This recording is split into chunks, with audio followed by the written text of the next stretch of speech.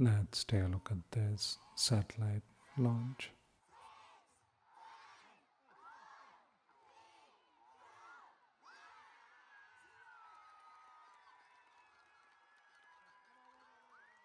This is the launch of NISAR, NASA ISRO Synthetic Aperture Radar.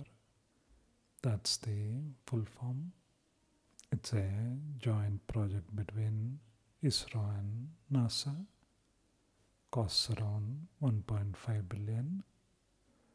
It was launched by ISRO from Sriharikota in Andhra Pradesh, India. The tip of the rocket has the NISAR satellite.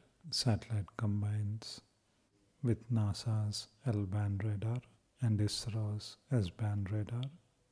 Unlike the optical telescope, this can gather data through clouds and at night, and it will be efficient at measuring soil moisture, forests, and movement of land and ice on the surface of the planet, even measuring agricultural changes as well as grasslands and human built structures.